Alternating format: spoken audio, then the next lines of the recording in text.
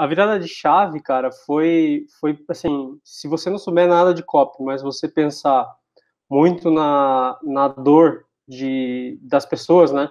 Porque o seu produto, ele não precisa aliviar só uma dor, né? Ele também pode resolver. E você trazer esse conforto aí psicológico para a pessoa significa que você entende da vida dela. E quando você passa a entender isso, é, você não precisa saber de muitos gatilhos, muitas técnicas, porque você já vai estar tá falando a língua da, da pessoa.